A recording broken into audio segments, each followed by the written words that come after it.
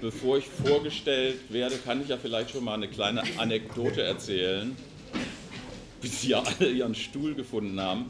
Ähm, das erste Mal, dass ich einen Vortrag in Wien gehalten habe, das war irgendwann im letzten Jahrhundert, äh, Anfang der 90er Jahre oder Mitte der 90er Jahre, ein Vortrag im Wiener Rathaus mit dem Titel Wie die Menschen schwarz, rot, gelb und weiß wurden. Und da hat sich schon nach ganz kurzer Zeit eine merkliche Unruhe ausgebreitet bei den Zuhörenden. Und eine couragierte Dame wollte dann von mir wissen, äh, wann ich denn endlich zum Thema käme. Sie hat nämlich einen naturwissenschaftlichen Vortrag erwartet. Und als ich dann gesagt habe, das wäre alles ganz anders und der Begriff würde jetzt irgendwie dekonstruiert und die, die äh, auch lieber was Naturwissenschaftliches hören wollten, sollten dann doch lieber jetzt gleich gehen. Da sind echt ein Drittel, ungefähr ein Drittel der Anwesenden raus. Also ich könnte meinen Vortrag ein bisschen ändern und dann haben wir den Effekt wieder. Das wäre jetzt nicht das Problem.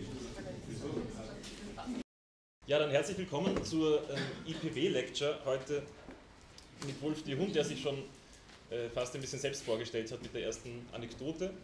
Mein Name ist Benjamin Opratko, ich bin Projektmitarbeiter hier am Institut für Politikwissenschaft und habe gemeinsam mit Fanny Müller-Uri, hier zu meiner Rechten, ähm, hatten wir die Idee, ähm, Professor Wolf Hund einzuladen von der Uni Hamburg. Er ist dort Professor für Soziologie und ähm, arbeitet seit geraumer Zeit, seit Anfang der 90er Jahre zum Thema Rassismus, Rassismusanalyse, hat da ganz ähm, wichtige Arbeiten vorgelegt in den letzten ja, 20, 30 Jahren inzwischen. Ähm, und die Idee war nicht ihn, ganz 30. Nicht ja. ganz 30. Mhm. Und ähm, die Idee war, ihn, ähm, ihn hier nach Wien einzuladen, um über vor, mit, nach und ohne Rassen äh, und ein äh, mögliches neues Paradigma in der Rassismusanalyse zu sprechen. Er wird ähm, das Ganze als Vortrag halten, wobei ähm, Wolf meinte, er würde das immer wieder zwischendurch auflockern, Fragen, Kritikpunkte, heftigen Widerspruch ähm, oder Beifall äh, zulassen, sodass das dann nicht in einem ähm, Block von 45 Minuten passiert, sondern eher ein bisschen aufgelockert. Danach haben wir dann Gelegenheit, äh, nochmal konzentrierter gemeinsam zu diskutieren. Ähm, Fanny hat auch ein paar Kommentare oder Fragen vorbereitet, die wir dann mit reinholen äh, wollen. Und ähm, so haben wir uns das vorgestellt. Vielleicht ganz kurz noch ähm, eine Information. Äh, Wolfund hat in den letzten Jahren, ich glaube seit 2010, gibt er eine Buchreihe raus, Racism Analysis. Das jüngste äh, ist hier gerade in meiner Hand, gerade erschienen zu Colonial Advertising and Commodity Racism. Ähm, ansonsten gibt es höchst empfehlenswerte Bücher, eines beim Verlag Westfälisches Dampfboot erschienen, Negative Vergesellschaftung und ein Einführungsbuch im Transkriptverlag ähm, mit dem Titel Rassismus. Ich habe, äh, das hat Benjamin ja schon angekündigt, äh, das wahrscheinlich auch missverstanden, was so eine normale IPW-Lecture ist. Ich habe jedenfalls meinen Vortrag eher rhapsodisch aufgebaut. Das hat den Nachteil natürlich, dass er nicht unbedingt systematisch ist, aber Systematik kann man ohnehin besser nachlesen und dazu gibt es einige Arbeiten. Es hat aber den Vorteil, dass ich Sie zur Intervention auffordern kann, also wann immer Sie wollen, fragen, kritisieren äh, oder schärferes, äh, sind Sie herzlich eingeladen, mich zu unterbrechen. Ich habe damit keine Probleme. Rhapsodischer Aufbau heißt, dass ich Ihnen äh, zunächst eine kleine Geschichte aus dem wissenschaftlichen Alltagsleben erzähle. Anschließend habe ich äh, vier Thesen formuliert. Dazu ist auch nur diese komische Wand da. Ich lese sie ohnehin vor, aber vielleicht äh, kriegt man sie dann besser mit, wenn man sie mitlesen kann. Und anschließend möchte ich meine Position an einem Beispiel erläutern, wenn wir denn überhaupt noch so weit kommen. Äh, die Thesen sind ja vielleicht dann auch schon spannend genug. Die Geschichte aus dem wissenschaftlichen Alltagsleben äh, handelt von einer relativ langen Rezension, die ich äh, kürzlich zu einem ziemlich umfangreichen Sammelband verfasst habe. Der heißt Race and Racism in Modern East Asia und ist herausgegeben worden von Walter Demel und Rotem Kona. Und einer der Mitherausgeber hat mich dann anschließend wissen lassen, äh, dass er sich sehr freute, wie viel Mühe ich mir mit meiner Rezension gegeben habe, dass er aber B aufgrund der von mir formulierten Kritik jetzt erst einmal beleidigt wäre. Äh, also das war eine Mail von Walter Demel, wörtlich, ich bin jetzt erst einmal beleidigt. Beleidigt war er unter anderem, äh, weil ich in meiner Rezension bemängelt habe, dass in diesem ganzen Band, der sich intensiv mit wechselseitigen Bildern, die sich Europäer und Ostasiaten über Jahrhunderte hinweg wechselseitig voneinander gemacht haben, ein Name vollständig fehlte und überhaupt nicht vorkam, nämlich der Name Max Weber. Äh, nun ist der Name Max Weber, wenn man in der deutschen Soziologie das Thema ähm, Rassismus behandelt, äh, in der Regel nicht auf der Agenda und wenn überhaupt, dann als Fehlanzeige. Äh, in der Regel wird davon ausgegangen, dass Max Weber Antirassist wäre oder gewesen wäre, und zwar deswegen, weil er auf dem ersten deutschen Soziologentag, das war 1910, einen Vortrag von Alfred Plötz über Rasse und Gesellschaft relativ massiv kritisiert hat. Tatsächlich ist das aber so, wenn Sie das nachlesen, das Protokoll ist ja gedruckt, dann werden Sie feststellen, dass er nicht die Rassentheorie kritisiert hat, sondern äh, den schwammigen Umgang von Plötz mit dem Rassenbegriff und seine diskriminierenden Äußerungen, äh, insbesondere bezogen auf einen schwarzen amerikanischen äh, Soziologen, nämlich Du Bois, den Weber kurz vorher auf seiner Amerikareise kennengelernt hatte und eingeladen hatte, einen Beitrag fürs Archiv für äh, Sozialwissenschaften zu schreiben. Also Weber war selber durchaus der Meinung, dass der Rassenbegriff legitim war. Er war nur der Auffassung, dass die Rassenwissenschaft noch nicht weit genug entwickelt wäre und ging davon aus, dass das in naher Zukunft wahrscheinlich der Fall sein würde und man dann mit dem Rassenbegriff solide arbeiten könnte. Das zeigte sich unter anderem auch daran, dass er zum Beispiel in äh, seinen politischen Reden und Schriften überhaupt keine Probleme hatte, den Rassenbegriff zu verwenden. Das tat er vor allem äh, äh, in, ja, da kann man jetzt nichts machen, aber wenn wir das Fenster zumachen, dann glaube ich, sterben wir, oder? Äh, das tat er vor allem in seinen Äußerungen äh, im Hinblick auf die Notwendigkeit der Verteidigung des deutschen Ostens gegen die äh, angeblich minderwertige slawische Rasse. Dazu gibt es wirklich derbe Äußerungen von ihm. Äh, das Wichtigste aber ist, dass Weber für seine Soziologie auf den Rassenbegriff überhaupt nicht angewiesen war. Ähm, und dass er im Zentrum seines Werkes eine ganz kulturalistische Unterscheidung von Okzident und Orient entwickelt hat wenn Sie diese Stellen nachlesen, ich weiß nicht, Weber-Seminare muss es ja hier ab und zu mal geben, oder? Religionssoziologie oder protestantische Ethik äh, und was auch immer. Und wenn er dann loslegt und sagt, nur im Okzident, nur im Okzident hat es eine rationale Wissenschaft gegeben, nur im Okzident äh, äh gibt es Kultur im modernen Sinne des Wortes, nur im Okzident äh, äh, haben sich tatsächliche Formen von Musik, Malerei und so weiter entfaltet. Vor allem ist auch nur im Okzident eine rationale Form der Lebensführung entwickelt worden. Und zwar nicht nur von den bürgerlichen Klassen, sondern auch vom Proletariat, das Weber da mit einbezieht. Äh, dann äh, sieht man ziemlich deutlich, dass da ein kulturalistischer Dualismus entwickelt wird, äh, bei dem es ein oben gibt und das ist der Westen und alles andere ist unten. Und das finden Sie in den religionssoziologischen Schriften auch alles wieder. In der angelsächsischen, vor allem in der amerikanischen Diskussion, hat das Weber den Titel Godfather of Cultural Racism eingetragen. Äh, in der deutschen Diskussion müssen Sie da lange nachsuchen, ähm, aber jedenfalls wird da von namhaften Beiträgern diskutiert, dass Weber möglicherweise der erste moderne kulturwissenschaftliche Rassist gewesen ist und zwar ein Rassist, der seine Überlegung ganz und gar ohne den Rassenbegriff aufgebaut hat. Äh, um 1900, äh, das ist also wirklich lange her und die Diskussion über Rassismus ohne Rassen äh, könnte da sehr weit zurückgreifen. Meine Kritik ging dann weiter an diesem Buch, das nämlich eine Auseinandersetzung mit Weber womöglich dazu geführt hätte, nicht zu einem engen Rassismusbegriff, wie die Herausgeber ihn äh, verwenden, äh, äh, ins Zentrum der Arbeiten zu stellen, also einen Rassismusbegriff, der an den Rassenbegriff angelehnt ist, äh, sondern den Elementen der Kultur wesentlich mehr Bedeutung zuzumessen. Auch das habe ich dann erläutert und das habe ich erläutert an einem Aufsatz von Walter Demel, dem besagten E-Mail-Schreiber, äh, der in einem historischen Beitrag die Herausbildung der modernen Rassentheorie äh, aufgezeigt hat und dabei unter anderem auch Immanuel Kant als Mitbegründer des modernen Rassismus und als Konstrukteur farbiger Menschenrassen gewidmet ähm, hat und unter anderem eben auch der gelben Rasse. Äh, durchaus zu Recht, wie ich finde. Äh, aber damit war dann eben auch Schluss äh, äh in diesem Beitrag. Äh, und was nicht gemacht wurde und nicht gezeigt wurde, ist, dass Kant noch sehr, sehr viel weiter geht.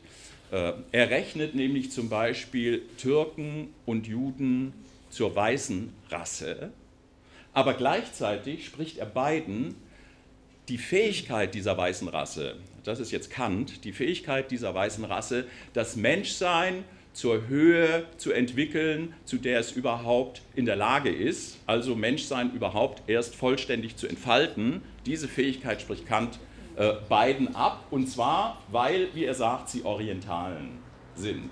Und als Orientalen leben sie seiner Meinung nach entweder barbarisch wie die Türken oder sie leben als Vampire in ihren Gastgesellschaften wie die Juden.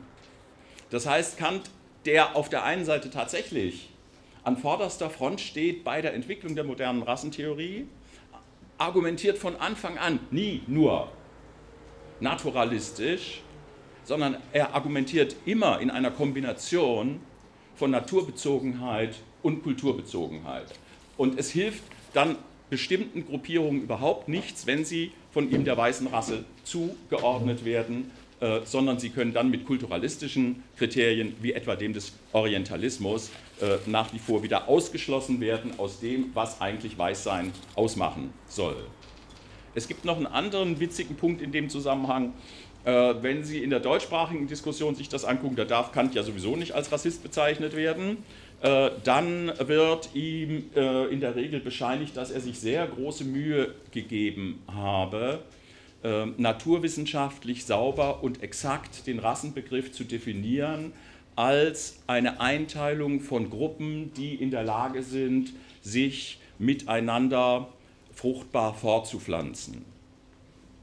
Das ist auch richtig, aber gleichzeitig ist richtig, dass Kant genau dieses Kriterium, Rassen sind Gruppen von Menschen, die untereinander fruchtbare Fortkommen hervor, äh, äh, Nachkommen hervorbringen können, dass er genau dieses, von diesem Kriterium sagt, es soll aber bitte nicht eintreten. Er ist nämlich gegen Rassenmischung. Rassenmischung ist ähm, äh, nach Kants Meinung von übel und hat nur negative Folgen. Das heißt, hier wird die Entwicklung eines modernen, angeblich modernen Kriteriums äh, zum Verständnis von Rassen gleichzeitig geflotet mit sehr viel älteren Diskriminierungszusammenhängen, in dem Fall dem Zusammenhang von Reinheit und Unreinheit. Äh, Rassenmischung ist für Kant Kontamination äh, und sollte nicht stattfinden. Äh, Quintessenz der Geschichte also äh, in der Begründung der modernen Rassentheorie äh, finden sich bereits frühere Muster rassistischer Diskriminierung wieder und Rassismus ist auch während der Geltungsdauer des Rassenbegriffes kulturalistisch.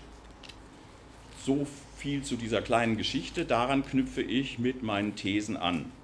Wenn jemand irgendetwas sagen will, aber Sie sagen nichts, weil Sie schreiben. Deswegen, schreiben die müssen ein Protokoll schreiben. Die müssen ein Protokoll schreiben. Ein paar schon. Warum jetzt das? Weil es ein paar Studis sind, die das machen müssen. Ja, aber ich meine, macht das einen es Sinn? Es gibt ein Video aber, danach. Ja, aber Wissenschaft sozusagen mit solchen Zwangsandrohungen? Man kann sich auf die Lektorinnen abschieben. Ja. Oh. Na ja, gut, dann können Sie natürlich nicht fragen. Vier Thesen. Die Thesen heißen in Kurzfassung: Erstens, Rassismus ist ein soziales Verhältnis. Zweitens, Rassismus ist nicht an den Rassenbegriff gebunden. Drittens, Rassen sind soziale Konstruktionen. Und viertens, der Rassenbegriff taugt nicht zur kritischen Kategorie. Ich fange mit der ersten These an. Äh, so, jetzt kann man die dann auch mitlesen. Ich lese sie aber trotzdem vor oder ich lese sie hier ab. Rassismus ist ein soziales Verhältnis, das die Vorstellung der Zusammengehörigkeit herrschaftlich differenzierter Klassen ermöglicht. Den Marx dahinter hören Sie hoffentlich raus, indem es ihnen homogenisierte Kollektive gegenüberstellt, im Vergleich zu denen noch das niedrigste Mitglied der eigenen Gruppe über dem ranghöchsten Mitglied der diskriminierten Gruppe steht. Ich versuche Ihnen die äh, Funktion und Tragweite dieser These an einem Beispiel zu erläutern. Das mache ich dann mit den nächsten Thesen auch, in diesem Fall am Beispiel von Adam Smith. Adam Smith denkt im 18. Jahrhundert als äh, Mitglied einer Gruppierung, die wir schottische Moralphilosophie nennen äh, und die sehr viel zur Entwicklung des modernen Rassismus beigetragen hat. Da gibt es zum Beispiel äh, William Robertson, der ganz intensiv damit beschäftigt war, ähm, die Einwohner Amerikas zu Wilden zu erklären. Das hatte gute Gründe, aber wenn ich über diese Gründe jetzt spreche, dann brauche ich den Rest der Zeit. Dann gibt es Adam Ferguson, dessen Geschichte der bürgerlichen Gesellschaft sich damit befasst hat, unter anderem einen Zusammenhang von Rasse und Fortschritt herzustellen. Es gibt einen der großen Philosophen Englands, David Hume, äh, der einen Zusammenhang äh, von Fortschritt und Weißsein hergestellt hat. Und es gibt sogar einen Theoretiker, der Spekulationen anstellt über die Einheit des Menschengeschlechts und sich fragt, ob nicht Gott, der doch für alle Kontinente eigene Pflanzen und eigene Tiere geschaffen hätte, nicht auch unterschiedliche Menschenrassen für diese Kontinente geschaffen hätte. Das finden Sie. Ah, okay, Henry Home, Lord Kames, das ist, das, das Problem ist, das Problem ist, wenn Sie, wenn Sie sich damit auseinandersetzen, und das sollten Sie tun, dann stellen Sie fest, dass Wissenschaft ja ein soziales System ist ein soziales System, das so funktioniert, nicht wahr, dass Leute dafür, dass sie Wissenschaft betreiben, soziale Ehre und auch ökonomisches Kapital einstreichen. Es gab auch schon früher Ausleseprozesse, die waren jetzt nicht so viel äh, harmloser, als die heute sind, im Hinblick darauf, wer zum Beispiel einen Lehrstuhl an einer Universität haben konnte, wer in bestimmten Zeitschriften schreiben durften und so weiter. Und wir reden jetzt von Leuten, die in diesem System an den höchsten Stellen sitzen. Das heißt, die von ihren Zeitgenossen honoriert werden als die Spitzen der Wissenschaft. Kein Mensch wäre auf die Idee gekommen, damals bei diesen Diskussionen zu lachen. Das war ein anerkanntes System von Wissen. Das ist das Drama dabei. Und wenn wir jetzt herauskriegen wollen, äh, wie das möglich war, gleichzeitig zu einem Zeitpunkt, wo ja nicht wahr das Freiheitsdenken in Europa und nicht nur in Europa fortschreitet, äh, dann müssen wir, glaube ich, ganz schnell über das Lachen hinauskommen und uns damit beschäftigen, nicht wahr, welche Gründe das haben kann, dass das als seriöse Wissenschaft galt äh, und zwar lange Zeit auch so praktiziert werden konnte. Dass die Rassen abgeschafft wurden, das ist in Anführungszeichen noch gar nicht so lange her. In Wirklichkeit, es ist, es ist ja so, dass selbst die Vorstellung, dass äh, man Rassen als soziale Konstruktionen. Sie sind nicht der Meinung, dass es noch so praktiziert wird? Ich, ich wollte gerade sagen, selbst wenn man der Meinung ist, dass Rassen äh, soziale Konstruktionen sind, dann ist das eine sehr prekäre Situation, die zwar von relativ vielen Leuten heute im Munde geführt werden, aber zum Beispiel A gibt es im Bereich der Wissenschaften, da können wir in der Medizin gucken, da können wir in der Genetik gucken und an anderen Stellen auch, äh, äh, eine Renaissance des äh, Rassedenkens, wenn auch nicht immer mit diesem Begriff. B kann man sogar an ganz merkwürdigen Stellen ähm, eine Wiederkehr des Rassebegriffs finden. Ich habe vor kurzem einen Aufsatz gelesen in einer Zeitschrift, die heißt Forum Kritische Psychologie und die wird vom, von einem marxistischen Verlag, nämlich dem Argument Verlag, herausgegeben. Und da verteidigt äh, ein Autor mit dem Namen Volker Schurich ganz massiv den biologischen Rassebegriff. Äh, und dabei sind wir jetzt nur im Bereich begrifflicher Operationen und noch nicht im Bereich struktureller Ungleichheiten. Ja, äh, wir haben diese Auseinandersetzung, dass heute ein großer Teil, äh, in Sonderheit auch in den USA, in England und so weiter, aber auch in Deutschland, äh, von durchaus ehrenwerten äh, Beiträgern zum wissenschaftlichen Diskurs der Meinung ist, wir befinden uns in einer Post-Race-Situation. Das heißt, der Rassebegriff hätte abgewirtschaftet, äh, Rassenverhältnisse wären vorbei und so weiter und so fort. Ja, klar. Äh, ich wollte ja nur, ich wollte ich wollt ja auch Ihnen äh, das Lachen nicht verbieten. Wenn man nicht mehr lachen dürfte in der Wissenschaft, wäre das ganz scheußlich. Ich wollte Sie nur motivieren, das Lachen sozusagen als, als Treibsatz zu nutzen, um dann wirklich nachzugucken, wie, wie, ist, wie war das möglich?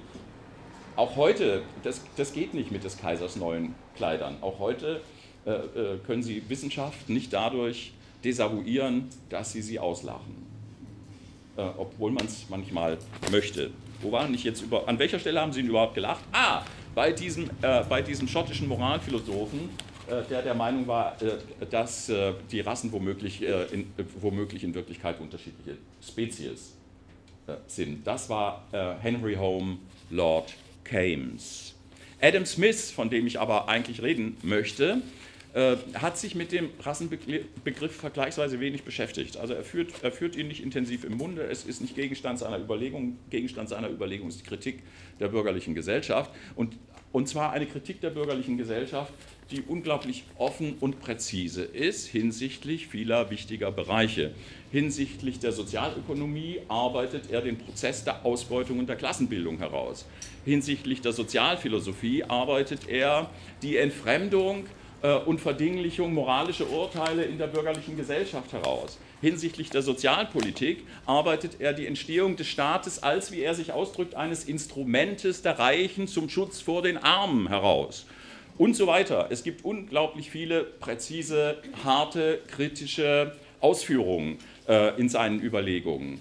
Äh, wenn es um die Arbeit äh, und die Verteilung des Reichtums geht, nimmt er kein Wort äh, ähm, kein Wort vor den Mund ist blöd ausgedrückt, aber ich meine Blatt, äh, nimmt er kein Blatt vor den Mund und sagt, äh, diejenigen in einer Gesellschaft oder in unserer Gesellschaft, die am meisten arbeiten, bekommen am wenigsten, beziehungsweise umgekehrt.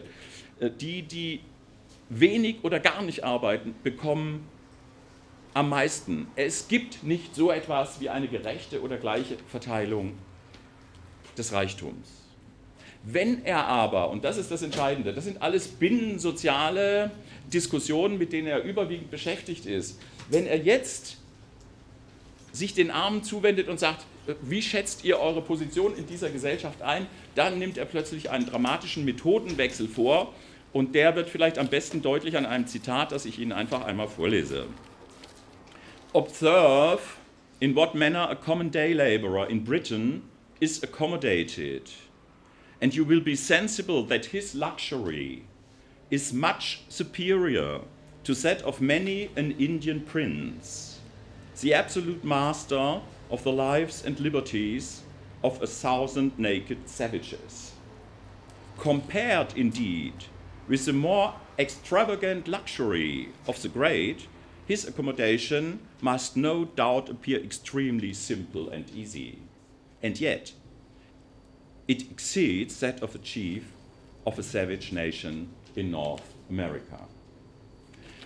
Da ruft er denselben Armen, den er gerade erläutert hat, nicht wahr, dass sie den ganzen Reichtum der Gesellschaft erwirtschaften und dass sie trotzdem am wenigsten davon abbekommen, zu, dass sie beim Vergleich im Hinblick auf die Verteilung des Reichtums sich doch bitte nach außen wenden sollen.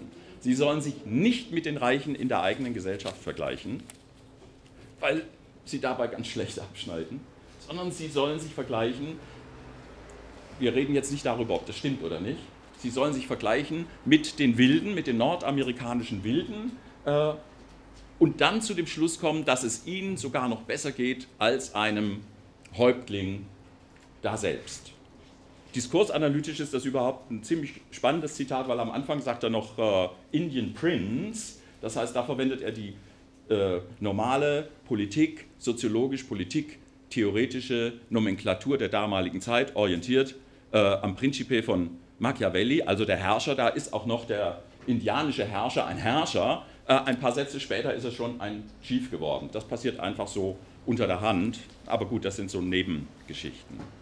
Äh, das ist aus meiner Sicht ein ganz zentrales Definitionskriterium äh, von Rassismus, dass es de, insbesondere auch den unteren Schichten der Gesellschaft.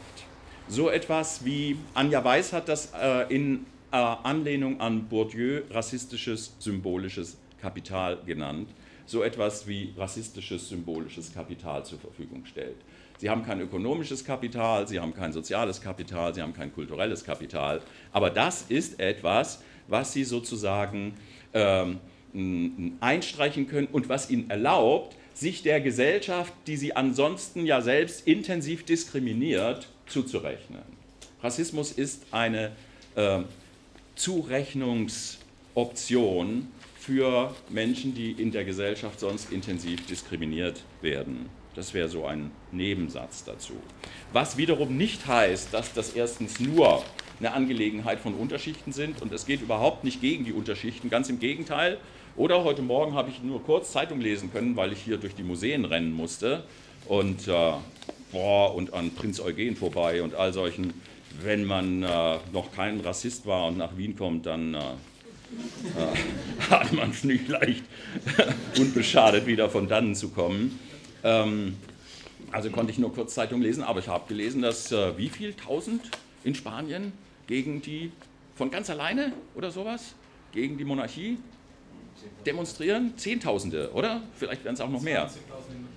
Ja, okay. Also die, äh, die Volksmassen machen auch viele tolle Sachen, äh, äh aber eben nicht nur.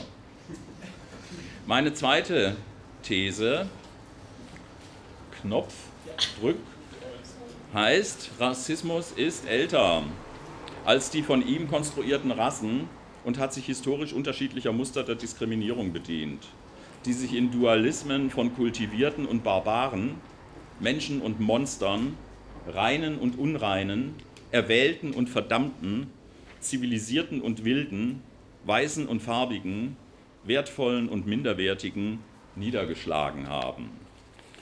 Wenn Sie das genauer nach, kannst du mal ein bisschen Werbung machen? Soll ich jetzt die Werbung machen? Nein, einfach hochhalten. Nur hochhalten. Ja, so weißt du, wie immer ich, ich in diesen Talkshows. Ich mache das nebenbei, weiter.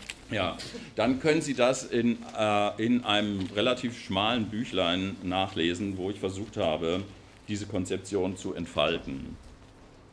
Äh, ich gebe das auch durch, oh, weil ich nicht so viele Notizen reinmache, ist es nicht tragisch. Ja, hm. du streichst nicht so viel ab. Nee. Hm. Ähm, Rassismus wird in, wird in diesem Band äh, und nicht nur da von mir begriffen als ein Verhältnis von langer Dauer. Ich bin nicht der Meinung, dass Rassismus nur äh, eine Erscheinung der Moderne ist, sondern gehe davon aus, dass äh, äh Rassismus möglich, das ist natürlich eine Hypothese, dass äh, Rassismus äh, möglicherweise eine Begleiterscheinung von Klassengesellschaften überhaupt ist. Ähm, diese Position war vor 20, 25 Jahren überhaupt noch kein bisschen mehrheitsfähig. Vor 20 bis 25 Jahren ist die Mehrheit der Rassismusforscherinnen und Rassismusforschern davon ausgegangen, dass äh, Rassismus eine Erscheinung der Moderne ist, geheftet an Rassen, verbunden mit Rassen äh, und deswegen ausgekocht in Europa äh, und von dort ausgehend. Das hat sich gründlich verändert. Inzwischen nehmen die äh, Stimmen, Äußerungen äh, von Forschern, die der Meinung sind, nein, wir müssen das in einer größeren historischen äh, Perspektive untersuchen, ganz stark zu. Blöderweise betreiben sie aber ihre Forschung mit dem Rassenbegriff. Das heißt, sie nehmen den Begriff, der ein Begriff der Moderne ist, und transportieren ihn in die Geschichte zurück und finden dann rassenähnliche Strukturen, Verhältnisse, Ideologien, Vorstellungen, Vorurteile eben auch schon in der Antike. Ein Beispiel, an dem Sie sich das genauer angucken könnten, wäre Ian Law. Uh, Ian Law is uh, Director of the Center of, for Ethnicity and Racism Studies an der University of Leeds, ein Autor, der uh, viele wichtige Bücher äh, zur Thematik veröffentlicht hat und weiter veröffentlicht und vor kurzem ein Lehrbuch vorgelegt hat, das intensiv genutzt wird im angelsächsischen Sprachraum mit dem Titel Racism and Ethnicity. Aus der äh, Arbeit lese ich Ihnen einfach mal drei kurze Zitate vor. In, in den Zitaten geht es gewissermaßen um die lange Dauer äh, von Rassismus, aber permanent wird sie begründet mit Worten wie Race und Racial. A general theory of race and racism requires a global approach. The social construction of racial identities should be understood as a global process being produced by many societies outside the West. The durability and pervasive nature of elements of race thinking over millennia started with xenophobia and ethnic hatred in antiquity. Also da haben wir äh, genau diesen Zusammenhang von Rassen, angeblich rassenbasierten Feindschaften, die es zwischen Menschen äh, gewissermaßen immer schon und überall gegeben haben soll, äh, verbunden einerseits mit dem Rassenbegriff und andererseits mit Vorstellungen von Xenophobie und so weiter. Das Witzige daran ist, jetzt könnten wir auch wieder lachen oder wir müssten wahnsinnig viel, das ist übrigens ein Problem, wenn man nicht lacht, muss man in der Regel wahnsinnig viel arbeiten. Das heißt, man muss lesen, bis an das Lachen wirklich ernsthaft vergehen könnte. In dem Fall müssten wir uns angucken, wo kommt denn dieser blöde Begriff überhaupt her? Der wird ja in der öffentlichen Diskussion ziemlich intensiv benutzt. Ich weiß nicht, in Österreich nehme ich an auch. Xenophobie ist ein Neologismus. Die alten Griechen kannten diesen Begriff nicht. Da gibt es den nicht. Man war nicht phobisch eingestellt gegenüber dem Xenos. Der Xenos war gleichzeitig der Gast und der Freund. Das war der Fremde, den man aufnahm. Das war nicht der Fremde, vor dem man Furcht hatte. Und äh, die schönste Stelle, die ich kenne, an der man sich das äh, äh, dann doch schon wieder zum Lachen vor Augen führen kann, ist eine kurze Passage in der Ilias. Eine der ersten großen elementaren Auseinandersetzungen zwischen Ost und West, wenn man so will, um mal an Max Weber zu erinnern. Ja. Und da stehen zwei Recken auf dem Schlachtfeld und hauen aufeinander ein, bis plötzlich der eine zu dem anderen sagt, ich habe ihre Namen gerade irgendwie vergessen, äh, hält einen Schlag und sagt, äh, war nicht dein Vater der Xenos von meinem? Also der fremde Gastfreund sozusagen.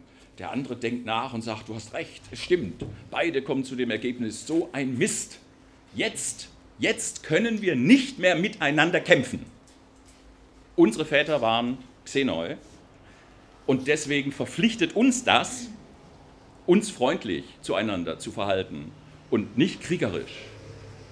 Gott sei Dank ist dann die Schlussfolgerung, aber gibt es ja hier noch so viele andere wackere Helden, gegen die man mit Gewinn kämpfen kann, dann drehen sie sich um und jeder stürzt sich auf den nächsten und so weiter und weiter geht es. Aber da finden Sie die Begrifflichkeit von Xenos in ähm, ähm, naja gut, jetzt nicht der klassischen Antike, sondern ein bisschen vorher bei, bei Homer, äh, voll entfaltet und das hat überhaupt nicht das Geringste zu tun äh, mit dem, wie der Begriff heute verwendet wird. Was jetzt nichts heißt, aber was ähm, einen dazu bringen könnte, zu fragen, wie kommt denn diese Vorstellung zustande, wenn sie nicht in der Antike geboren wurde, dann ist sie womöglich nicht primordial. Dann haftet sie den Menschen nicht immer an, wo Fremdes auftaucht. Ja, das, macht, das haben früher Soziobiologen gemacht oder Verhaltensforscher oder sowas. Ja, wenn dein Territorium bedroht wird von dem Nachbarhirsch, dann, äh, dann schwillt dir das Geweih an und du musst das einfach, du kannst nicht anders, die Natur zwingt dich, nicht wahr, äh, äh, dein Revier zu verteidigen. Das ist alles biologischer Unsinn und hat mit gesellschaftlichen Verhältnissen wenig zu tun. Also es ist jetzt äh, äh, lax ausgedrückt. Ich wäre gerne bereit, darüber Seminare zu machen und das ausführlich zu untersuchen und zu verteidigen. Äh, das kann man auch seriös machen. Das war meine zweite These. Jetzt komme ich zur dritten. Wie alle rassistisch generierten Diskriminierungen sind Rassen soziale Konstruktionen, gehen deswegen nicht in Diskursen oder Ideologie auf und lassen sich nicht einfach als Vorurteile entlarven, sondern bleiben auch nach ihrer kritischen Analyse strukturelle und lebensweltliche Realitäten. Das ist eine These, die ich mit aller Vorsicht formuliert habe und mit großem Bedauern. Aber ich denke, man muss den Verhältnissen ins Auge schauen, die äh, Antirassistische Arbeit äh, wird äh, jedenfalls in Deutschland, ich kann mir nicht vorstellen, dass es in Österreich so viel anders ist, äh, überwiegend als eine Arbeit gegen Vorurteile betrieben, was ich ganz toll finde und ganz wichtig finde. Aber ich glaube, dass das vollständig unzureichend ist, weil wir es eben einfach nicht mit einem System von Vorurteilen zu tun haben, sondern mit gesellschaftlichen Verhältnissen. Ähm, die Problematik, äh, mit der wir es da zu tun haben, versuche ich Ihnen zu erläutern am Beispiel von äh, Robert Miles. Ich habe Robert Miles deswegen gewählt, weil er die deutschsprachige Diskussion zum Thema Rassismus ganz wesentlich beeinflusst hat. Und zwar, und zwar einfach deswegen, äh, weil ähm, eine Einführung von ihm zum Thema vom Argumentverlag übersetzt worden ist und man dann eben ein deutsches Einführungs- und Lehrbuch hatte, das intensiv benutzt wird. Und wenn Sie die Literatur angucken, deutschsprachige Literatur zum Thema Rassismus, finden Sie das, glaube ich, bis heute. Oder? Ja. Bei dir auch, oder? Ja. Ja. Ja, jetzt aber bei, ja, bei Fanny findet man jede Menge englisches Zeug und weiß der Teufel was, natürlich, logisch. Aber äh, wie gesagt, das, der, er war sehr wichtig äh, für die deutschsprachige Diskussion. Miles begreift Rassismus als Ideologie. Wenn Sie, das Argument hat die Arbeit gerade wieder aufgelegt. Äh, äh wenn Sie da reingucken, äh, dann werden Sie sehen, äh, für ihn ist Rassismus eine Form der Repräsentation des anderen. Allerdings schon sehr früh heißt das auch Repräsentation des anderen mit langer auch Repräsentation des Es gibt unterschiedliche Diskriminierungsformen, äh, die bei ihm unter das Label Rassismus als Ideologie fallen, etwa gegenüber Juden, Muslimen, Iren im kolonialrassistischen Rahmen, dann später im Zusammenhang mit Migration und so weiter und so fort. Äh, also Rassismus ist durchaus äh, etwas, was er sich äh, als ein Verhältnis von langer Dauer vorstellen kann, obwohl er seine eigene Analyse auf die Gegenwart konzentriert.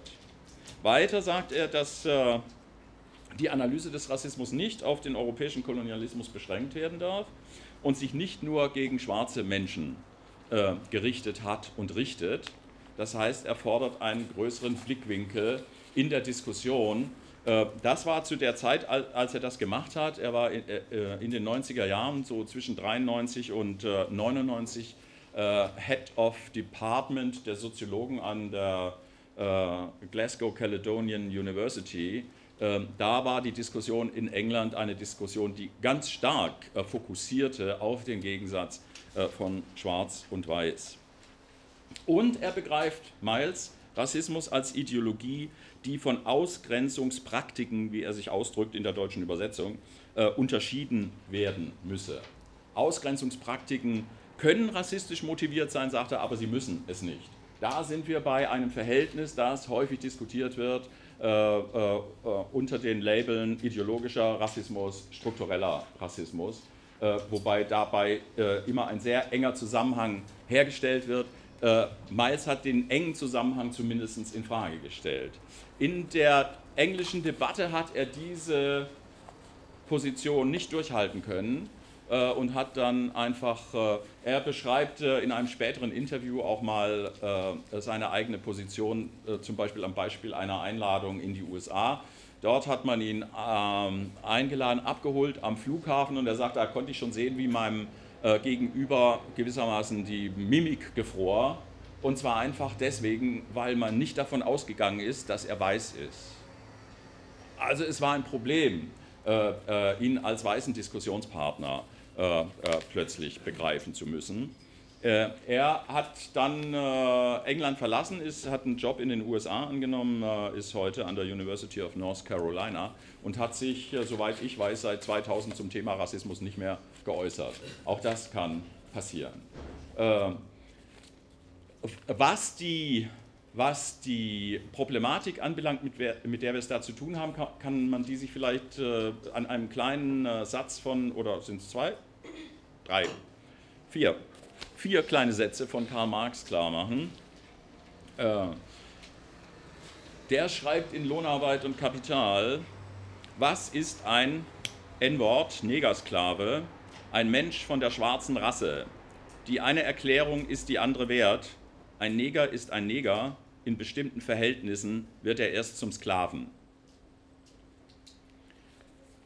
Das Zitat ist nicht nur ein Problem, weil Karl Marx das äh, in Lohnarbeit und Kapital formuliert hat, sondern weil es bis heute in Erläuterungen äh, jetzt auch marxistischer oder gerade marxistischer Autoren äh, dazu, was ein gesellschaftliches Verhältnis wäre, immer so zitiert wird, und zwar in der Absicht, um uns klarzumachen, ein gesellschaftliches Verhältnis ist das Verhältnis der Sklaverei. Ein Sklave ist niemand von Natur aus. Ein Sklave ist äh, jemand nur innerhalb äh, der Gesellschaft und aufgrund gesellschaftlicher Zustände.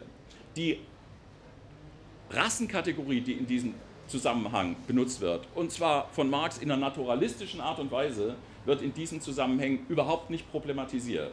Worauf es ankäme, wäre aus meiner Perspektive äh, zu begreifen oder zu erforschen, was es heißt, einer bestimmten Rasse zugeordnet zu werden, und zwar in einem gesellschaftlichen Verhältnis. Rassenangehöriger ist jemand genauso wie jemand Sklave ist oder Freier oder welche soziale Charaktere man immer auch aufgeherrscht bekommt. Das ist nur deswegen nicht so leicht zu begreifen, weil der Siegeszug des Rassenbegriffes dazu geführt hat, dass nicht nur unsere Großeltern und Eltern und Freunde der Meinung sind, man könnte das aber doch irgendwie sehen.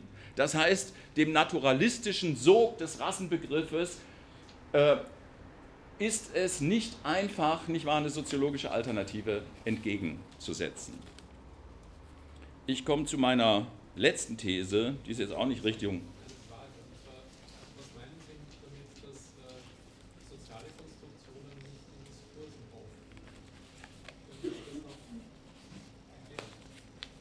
Naja, ich finde, ich habe das eigentlich schon einigermaßen frech formuliert, oder? Ja. Dass die Diskursanalyse nicht ausreicht, dass sie nicht nur im, im, im, im Bereich, nicht wahr, kommunikativer, sprachlicher, ich weiß nicht, wie vergleichbare Strukturen sind, wenn sie sich mit Rassismus auseinandersetzen. wenn man, wenn man äh, äh, Diskurse gehören auch zu den sozialen Verhältnissen, wenn man sich der Strukturen sozusagen entschlägt dabei, ja, wenn man sagt, okay, die Strukturen, die interessieren uns jetzt nicht so sehr. Äh, die, das ist eine Frage, die nicht gelöst ist in der Rassismusforschung. Die Rassismusforschung ist bis heute keine paradigmatische Wissenschaft. Es gibt unendlich viele unterschiedliche Positionen und die Frage, ob es einen strukturellen Rassismus gibt oder nicht, die hat gerade oder schlägt gerade wieder wirklich richtig große Wellen ähm, äh, in, den, äh, in einer Auseinandersetzung in den USA. Äh, äh, wichtige Aufsätze dazu können Sie äh, äh, in einer Zeitschrift, in welcher? In welcher? Ja. Englischen Zeitschrift? Ja, Race and Class. Class? Nee, nicht Race and Class. Race and Nein. Race, gleich habe ich es. Ähm, Race and Ethnic Studies. Äh, ja, ich habe das Heft nicht äh, parat. Äh, ein, zwei Jahre liegt das zurück, äh, oder es war erst 2013, nachlesen. Äh, eine Auseinandersetzung zwischen äh, Joe Fagin auf der einen Seite und Michael Omi und Howard Winant auf der anderen Seite. Omi Winant, die, mit, die, die ganz wesentliche Beiträge zur, zur Analyse des Rassismus vorgelegt haben, bekommen da vorgeworfen, dass sie den strukturellen Dimensionen des Rassismus viel zu wenig äh, Aufmerksamkeit ähm, gewidmet hätten. Da kann man sich das ein bisschen angucken, wie das da diskutiert wird. Meine letzte These. Ist es, ist es nicht so, dass man äh, nicht, nicht weil, weil es bestimmte Menschen gibt, die zu entscheiden haben, bzw. Macht haben und dadurch profitieren. Und das, es geht ihr Interesse, wenn man den Diskurs wirklich in sozialen Strukturen durchsickern lässt. Ja, ich glaube, dass das schon durchaus so ist, aber das muss noch nicht mal so sein. Sie binden jetzt äh, das Problem an den Interessenbegriff. Ja, an den Interessenbegriff, äh, in, an den Interessenbegriff zu binden heißt aber auch, dass wir uns immer in irgendwelchen manipulativen Situationen befinden, wo Leute ein Interesse haben, dass sie eben versuchen, auf Teufel komm raus mit irgendwelchen Mitteln oder mit allen möglichen Mitteln durchzusetzen. Rassismus funktioniert aber wahrscheinlich nicht nur so. Also wenn Sie sich bestimmte rassistische Situationen anschauen, dann können Sie durchaus feststellen, dass manipuliert wird, dass Medien in Gang gesetzt werden, äh, dass massenhaft Meinung produziert wird und so weiter. Aber es geht auch genauso gut umgekehrt, dass rassistische Bewegung von unten entsteht, dass das ohne Manipulation äh, passiert, dass die Leute, die sich da in Bewegung setzen, äh, wenig bis nichts zu gewinnen haben, äh, außer dieses berühmte rassistische symbolische Kapital oder sowas. Das kann man wiederum als, der, als der Manipulation von oben sehen.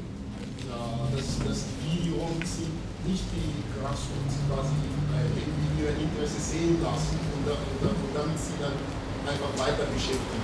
Ja. Ja. Ja, das kann man so machen. Und ich glaube auch, dass das oft so ist, aber äh, ich gehe davon aus, sonst, äh, sonst würde Soziologie auch äh, keinen richtigen Sinn machen. Dass soziales Verhalten in der Regel immer irgendwas mit Manipulation zu tun hat, aber äh, nicht im Kern manipuliert ist, sondern Verhalten von Menschen aufgrund ihrer eigenen Entscheidungen. Das macht es umso schlimmer, und gerade deswegen aber lohnt es sich auch, das zu untersuchen. Sie nehmen gewissermaßen die sozialen handelnden Gruppierungen, einzelnen Individuen und so weiter nicht so richtig ernst, wenn Sie immer nur sagen, okay, die, denen hat man manipul manipulativ ein falsches Bewusstsein verpasst, äh, äh, denen hat man nicht erlaubt, äh, ihre eigentlichen Interessen zu, zu, zu, sehen. Man hat mit allen Mitteln versucht, das irgendwie mit Verblendungszusammenhängen zu umstellen und so weiter. Das passiert alles. Das passiert ja nicht nur im Hinblick auf die Problematik Rassismus, sondern im Hinblick auf viele Problematiken in unserer Gesellschaft. Aber letztlich treffen die schon ihre Entscheidung bewusst und aufgrund dieser Entscheidung handeln sie. Aber da möchte ich schon sagen, dass es da einen entscheidenden Unterschied gibt, wenn ich das wenn ich jetzt sehe, aus einer, wenn ich es mir vorstelle, aus einer, aus einer weißen Position zu sehen oder aus meiner jetzt, dass man als weißer Mensch die Möglichkeit hat, jederzeit auf eine Ideologie und auf eine real existierende Struktur zurückzugreifen. Man trifft persönliche Entscheidungen, aber innerhalb eines Rahmens. Innerhalb eines Rahmens, in dem man sich entscheiden kann. Und man kann jetzt zum Beispiel als weißer Mensch jederzeit auf die Struktur, auf wirklich gelebte rassistische Strukturen zurückgreifen und man lebt in diesen Strukturen. Man legt in, als schwarzer Mensch kann ich, ich kann genauso entscheiden, für mich persönlich zu wollen, jemanden diskriminieren zu wollen, aber ich habe die Macht nicht. Das ist auch ein Machtungleichgewicht. Ich habe die Möglichkeit nicht und ich habe die Strukturen nicht, um auf diese Diskriminierung auch zurückzugreifen. Und da ist schon etwas, wo man sagt, da gibt es einfach einen ganz klaren, einen gewachsenen und real gelebten Unterschied bis heute und, ein, ja. und eine, ja, so wie es also ein, ein, ein Machtgefälle. Ja, aber Sie reden jetzt über Strukturen, da bin ich ganz auf Ihrer Seite.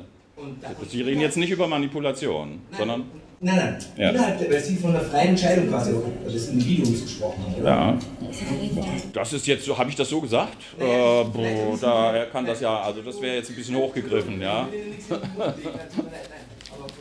Ich habe nur gesagt, wir sollten die Einzelnen ernst nehmen als Menschen, die ihre Entscheidungen selbst getroffen haben und nicht nur manipuliert worden sind das ist, das ist kein liberaler, keine liberale Freiheitsrhetorik, also wenn Sie das meinen. Entschuldigung. Ja. Gut, aber da haben Sie natürlich recht, aber Sie sprechen dann über Strukturen. Aber das wäre ja auch irgendwo auch die essentielle Frage, wenn man wirklich sich jetzt fragt, wie kann man die Realität insofern verändern, dass, dass Rassismus auf jeden Fall weniger virulent wird. Ja. Da muss man sich fragen, wo, wo setzen wir an? Ja. Und Sie setzen auch jetzt an äh, bei, äh, bei, in Anführungszeichen, weißen Gesellschaften. Es gibt natürlich Gesellschaften, in denen man auch als schwarzer Mensch Machtpositionen hat, aus denen heraus man sich rassistisch verhalten wenn kann. Sie, wenn Sie globale Machtverhältnisse ansehen, ja. sind auch, auch diese Gesellschaften innerhalb eines schwarzen Kontextes immer eingebunden in ein Machtverhältnis, wo wieder weiße Menschen entscheiden über die Realität. Umgekehrt ist es aber nicht so. Als schwarze Menschen haben wir nicht die Möglichkeit, über, weiße, über die Realitäten weißer Menschen zu entscheiden. Weiße Menschen haben vielfach die Möglichkeit, über die Realitäten schwarzer Menschen zu entscheiden. Gut, dann, dann müssten wir jetzt vielleicht gemeinsam hinsetzen und an einem Beispiel diskutieren, äh, ob das nicht vielleicht ein bisschen hochgegriffene Rhetorik ist, dass Sie sagen, ah, das ist. Sie landen immer irgendwie beim unbewegten Beweger und das ist in Ihrem Modell dann ein Weißer. Ja, und ja, nicht unbedingt, aber ich meine, es ist schwer, meine Realität anders darzustellen, als es sich mir darstellt. Wissen Sie das lang? Äh, ich bin mir nicht ganz sicher. Also wenn, wenn ich das als meine gelebte Realität ja. wahrnehme, dann gehe ich natürlich von, von dem aus aus und wenn ich, wenn sich tagtäglich das für mich so darstellt ja. und ich das auch in, sich das auch für mich bewahrheitet, wenn ich irgendwie in einem größeren Kontext mir das anschaue, dann muss ich es auch so benennen. Ja, das ist voll okay. Ja, und das ist, deswegen, deswegen komme ich von der Position, dass ich sage, es gibt.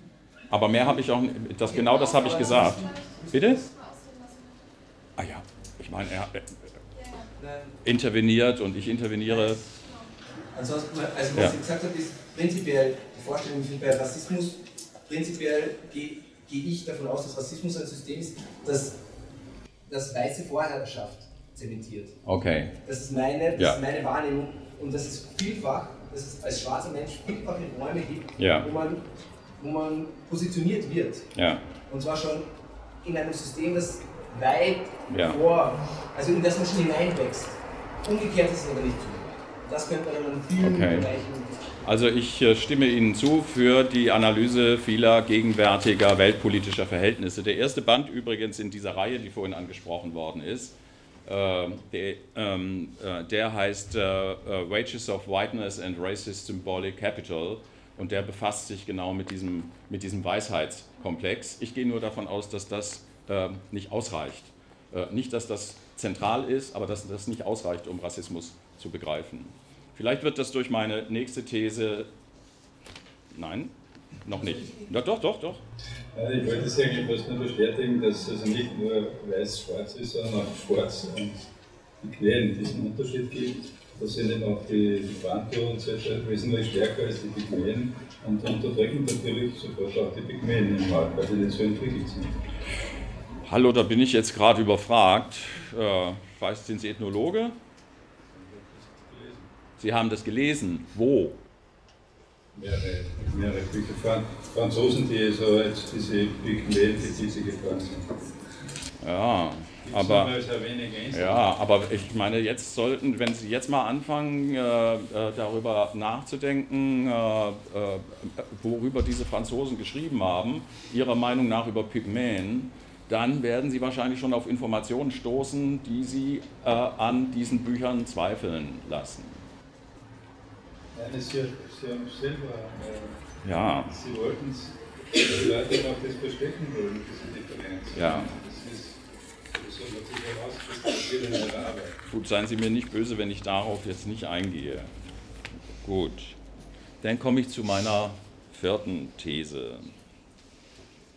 Obwohl Rassen soziale Tatsachen sind, taugt Ihr Begriff nicht als Grundlage kritischer Rassismusanalyse weshalb der Racial Turn der Critical Whiteness Forschung in die Irre führt, eine Eternalisierung der Rassenkategorie nach sich zieht und zur Enthistorisierung oder gar Essentialisierung der Rassismusforschung führt. Da sind wir jetzt vielleicht äh, schon bei einem Thema, an dem wir das genauer diskutieren können. Äh, ich möchte Ihnen äh, erläutern, was ich mit dieser These meine, auch wieder an einem Beispiel, und zwar am Beispiel einer kleinen Arbeit, äh, die aber gerade deswegen, weil sie vergleichsweise nicht so umfangreich ist und verspricht, in 101 wichtigen Fragen sich mit dem Thema Rassismus zu befassen. Äh, das ist eine äh, Arbeit von Susan Arndt, die im ups, Beck Verlag erschienen ist. Heißt Rassismus die 101 wichtigsten Fragen. Da wird die Analyse von Rassismus auf den Rassenbegriff fixiert. Da wird dieser Rassenbegriff auch eingeengt auf den Gegensatz von weißen Rassisten und schwarzen Diskriminierten. Und da wird, um diese Position aufrechterhalten zu können, permanent die Geschichte umgeschrieben. Ich kann Ihnen das an mehreren, aber ich erläutere es erstmal an einem Beispiel, ich kann Ihnen das auch noch an anderen Beispielen erläutern.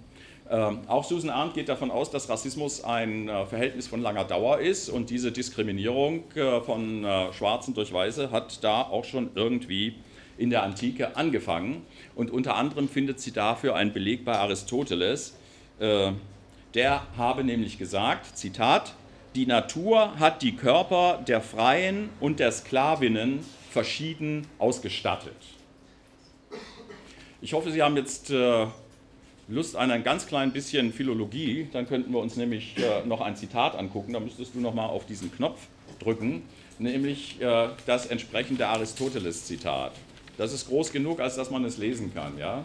Das ist die Begründung der Sklaverei durch und bei Aristoteles, eines Verhältnisses, das ich ganz und gar bereit bin, als Rassismus zu bezeichnen, das aber gerade nicht auf Körperlichkeit abstellt. In diesem Zitat, auf das Susan Arndt sich auch bezieht, steht genau das Gegenteil dessen, was sie schreibt. Da steht nämlich, dass diejenigen, welche so weit von anderen abstehen wie der Leib von der Seele und das Tier vom Menschen, Sklaven von Natur aus wären. Sklave ist mithin derjenige, welcher an der Vernunft nur so weit teilhat, um ihre Gebote zu verstehen, ohne sie zu besitzen. Das heißt, wir sind im kulturellen Bereich, wir sind im intellektuellen Bereich. Sklaven sind unvollständige Menschen, weil sie nicht vollständig über die Vernunft verfügen. Und jetzt geht es weiter. Und das ist bis dahin ist das ein Zitat, das ganz häufig auch von Vertretern äh, der Auffassung, dass äh, Rassismus etwas mit Rassen zu tun hätte und dass das schon in der Antike angefangen habe, zitiert wird. Und der nächste Satz wird von Ihnen auch noch zitiert. Der heißt dann nämlich, die Natur hat nun das Streben, auch die Leiber der Freien und Sklaven verschieden zu bilden. Und dann ist aber Schluss mit dem Zitieren, während es bei Aristoteles weitergeht die Kursivierung äh, und der Fettdruck, die sind jetzt von mir, die sind nicht aus dem Original. Aber schreibt er unmittelbar anschließend, tatsächlich tritt oft das Gegenteil ein. Nämlich, dass manche nur die Leiber von freien Menschen haben, das sind Sklaven in Wirklichkeit, die aber echt gut dastehen, und andere nur die Seelen denen der entsprechende Körper fehlt. Und dann erläutert er noch einmal, was er meint. Denn eines ist doch wohl offenbar, wenn auch nur, wir sind im Konjunktiv, der rein körperliche Unterschied so groß wäre wie zwischen den Götterbildern und der Menschengestalt, so würden alle zugeben. Es ist aber nicht so. So würden alle zugeben, dass diejenigen Menschen, welche in einem solchen Grade hinter anderen zurückstehen, Sklaven dieser anderen zu sein verdienen. Also Aristoteles sagt, ja, die Natur versucht es, aber sie ist im Hinblick auf rassistische Diskriminierung anderer, das heißt auf unser Recht, sie zu versklaven, kein verlässlicher Bündnispartner. Sie kriegt es nicht hin. Wir können den anderen ihr angeblich natürliches Sklavsein gerade nicht an ihrem Körper ablesen. Wir können das nur intellektuell begründen, mit einem Kriterium, das man eigentlich gar nicht sehen kann. Das heißt, hier steht genau das Gegenteil dessen, ähm, was uns erzählt wird. Damit könnte ich jetzt noch, ach doch, ein Beispiel noch. Haben Sie noch Kraft für ein Beispiel? Ja, das Beispiel ist allerdings religiös. Äh, es geht äh, um die Geschichte von Noahs Fluch. Äh, es ist nicht nebensächlich, weil diese Geschichte benutzt wird, schon seit einer relativ frühen Zeit der Entwicklung der Sklaverei in Afrika, äh, zunächst im Übrigen einer äh, von den Arabern äh, entwickelten Sklaverei, äh, die ja aber äh, in äh, ihre Religion die alttestamentarischen Geschichten aufgenommen haben und dabei einen Mythos benutzt haben, nämlich genau diesen Mythos von Noahs Fluch, der bis ins 19. Jahrhundert äh, dann auch in der europäischen Sklaverei und von Sklavenhaltern äh, äh, äh weltweit benutzt wird zur Legitimierung äh, nicht wahr, ihres Tuns. Äh, es geht, die Geschichte ist ganz einfach. Es geht darum, dass, will Sie jemand von Ihnen erzählen aus dem Religionsunterricht?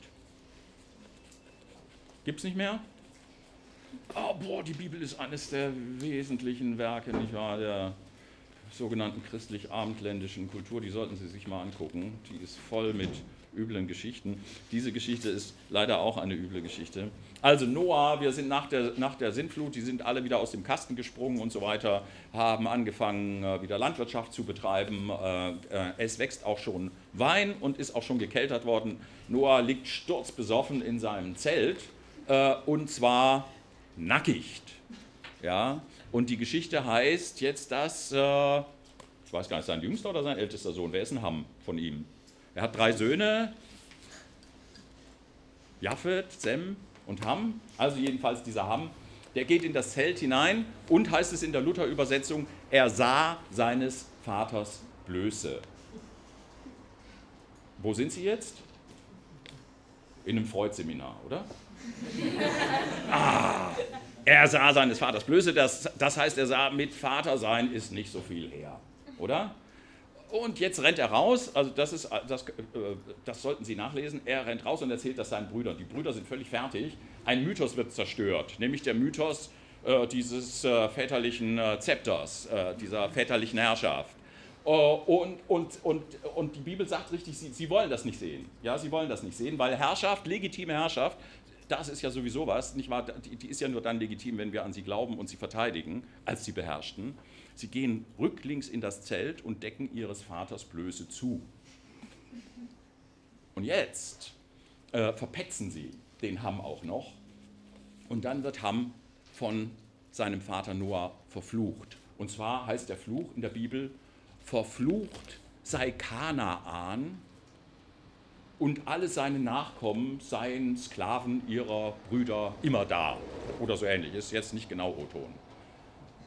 Also Ham selbst wird gar nicht verflucht, sondern Kanaan wird verflucht. Kanaan ist ein Sohn von Ham. Wir sind immer noch bei Freud, oder? Er verflucht also nicht seinen eigenen Sohn, sondern er verflucht ihn in seinen Nachkommen. Dieses ganze Herrschaftsding wird als eine patriarchale Fortpflanzungsoper inszeniert und er sagt, und dessen Nachkommen sollen auf ewig Sklaven sein. Diese Geschichte ist eine Geschichte, die sich relativ leicht äh, als Legitimationsgeschichte, da geht es schon um Interessen, äh, identifizieren lässt, aber als Legitimationsgeschichte der Besiedlung des Landes, wo Milch und Honig fließt. Ja, nämlich der Landnahme in Palästina, damals Vulgo Kanaan. Die Kanaaniter lebten da und die Kanaaniter sind gewissermaßen die Nachkommen dieses Sohnes Kanaan. Das ist die ganze Bibel ist ja voll mit Genealogien, wo immer erzählt wird, welches Volk von welchem Sohn, von welchem äh, äh, äh, Altvater irgendwie abstammt. So, jetzt heißt es aber bei Susan Arndt, da bin ich wieder beim Thema, Ham geht etymologisch auf dunkel und heiß zurück. Dazu passt dass Ham und Kanaan als Stammväter vieler afrikanischer Kulturen gelten.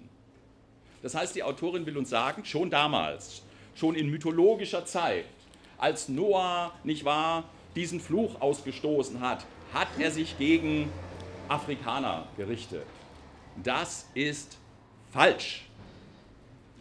Die einschlägige Forschung, und die ist wirklich sehr gründlich und sehr umfangreich, hat die Etymologie des Namens Ham hin und her gewälzt und kommt zu dem Ergebnis, Sie können das nachlesen bei äh, David Goldenberg, äh, die Arbeit heißt The Curse of Ham, dass Ham nicht dunkel und heiß heißt, sondern dass das erst später durch Interessierte, und jetzt sind wir aber bei Legitimatoren der Sklaverei, so dargestellt worden wäre. Also es ist nicht der Ursprung dieses Namens. Der Fluch hat nichts mit Schwarzsein zu tun. Und Kanaan ist nun ausgerechnet von den Söhnen von Ham. Jetzt kommt wieder die Genealogie. Also der hat mehrere Söhne. Der eine gilt als, äh, die habe ich mir aufgeschrieben, Misraim gilt als Stammvater der Ägypter. Äh, Put gilt als Stammvater der Libyer. Kusch, äh, wenn es überhaupt richtig schwarz wird in der Bibel, dann da.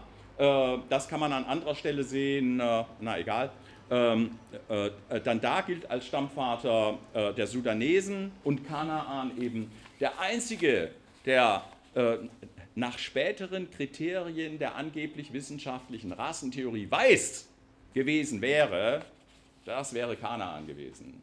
Also in, in, den Überlegungen von Susan Arndt stimmt so gut wie nichts, jedenfalls an dieser Stelle. Ich könnte jetzt noch weitermachen, äh, aber soll ich? Oder wollen wir aufhören und diskutieren? Nämlich zum Beispiel, was jetzt aufhören? Aufhören, Schluss, aus. Ja, und zu, leider ist auch nicht ein Drittel rausgegangen. Und dann, dann sollen wenigstens die, die jetzt so lange durchgehalten haben, diskutieren. Bitte. Vielen herzlichen Dank erstmal. Bitte.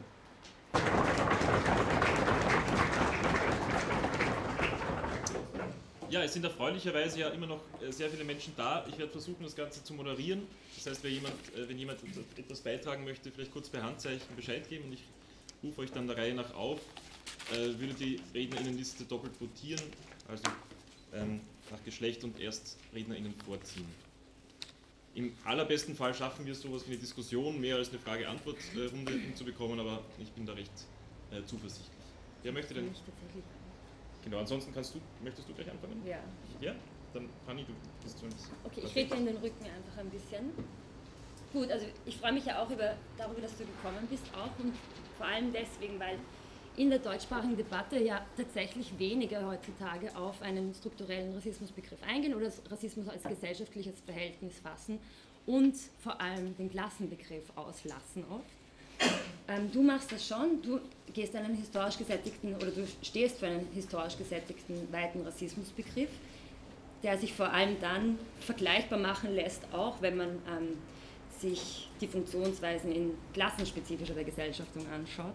Ich warte jetzt auf den Dolch, weißt du, sitzt hinter mir. Der Dolch kommt ja bei mir eher weniger, deswegen freue ich mich dann auch eher auf die Diskussion, weil du hast ja dann tatsächlich ein jetzt auch geändert mit deiner letzten These, ähm, wo man ja auch die Frage stellen kann, so, jetzt hast du einen weiten Rassismusbegriff, du hast einige Vorwürfe, die man machen könnte, die das ähm, durchaus dann zu weit fassen, ohne historische Sättigung, ja eh selbst auch schon angesprochen, aber endest ja auch mit etwas, wo Critical Whiteness zum Beispiel auch sagen würde, aha, da geht es aber oft auch um strategische Essentialismen, man macht sich auch, es gibt hier auch unter Umständen ähm, widerständige Identifikationsgebiete ähm, und du, mich würde jetzt interessieren, wie das ein, äh, du einschätzen würdest, wenn man der Analyse verpflichtet bleibt nämlich der Analyse, das historisch auch zu untersuchen, hier auch die Spezifitäten sich herausgreift, bestimmte Machtverhältnisse sich anschaut, wie dann genau solche strategischen Essentialismen in ihrer Form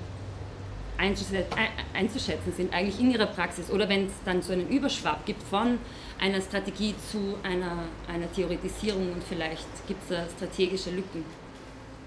Also es gibt, es eine rhetorische Frage ein bisschen. Ich würde trotzdem vorschlagen, dass wir noch ein bisschen sammeln und die Diskussion weiterführen lassen. Äh, Dieter hatte sich gemeldet.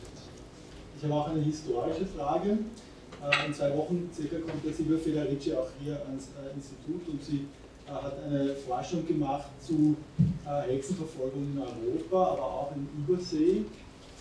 Und sie kommt ja aus der Tradition des italienischen feministischen Operaismus.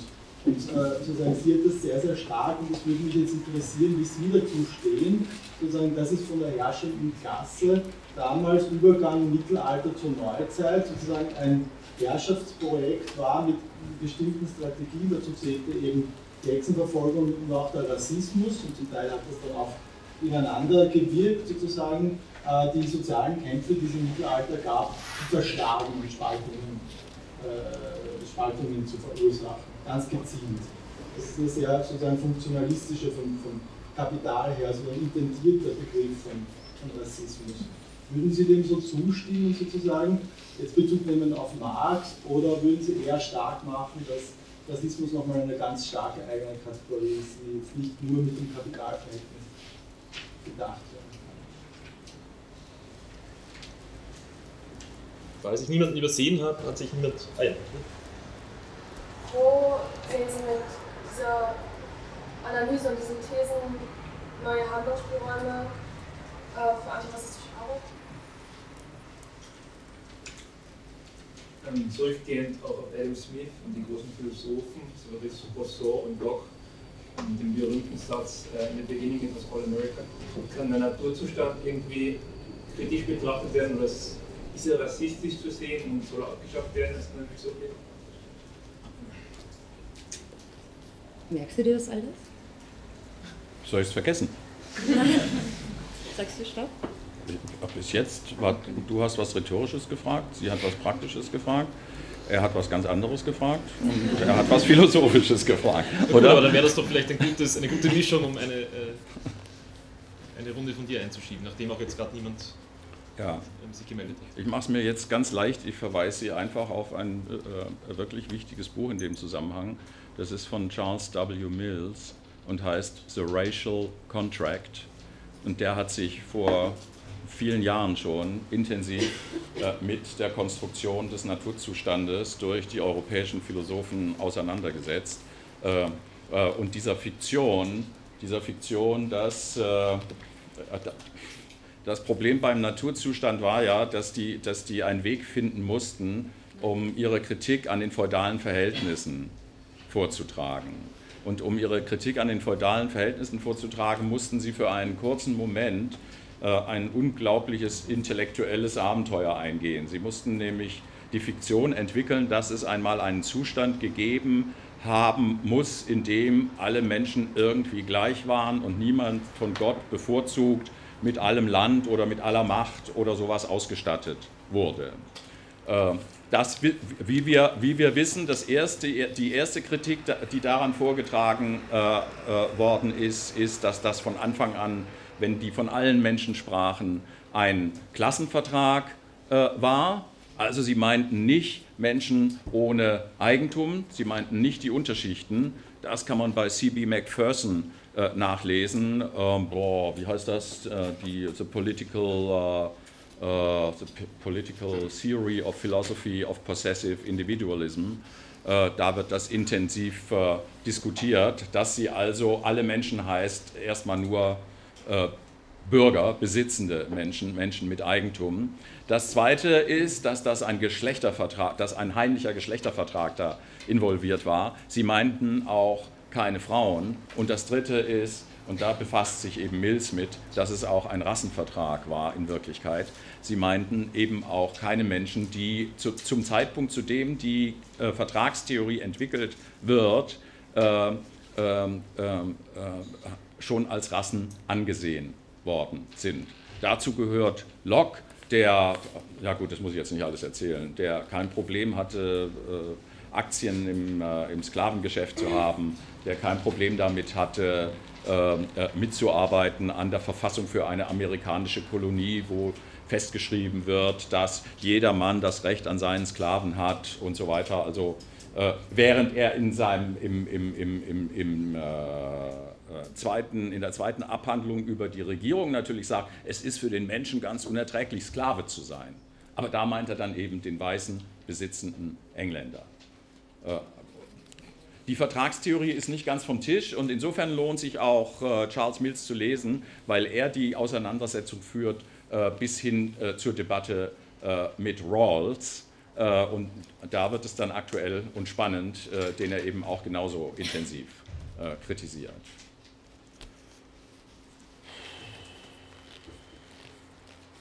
Wenn Sie in dieses komische rote Buch, das hier rumgeht, reingucken, dann werden Sie feststellen, dass ja, dass es da einen Abschnitt gibt, der heißt Geschlechterrassismus.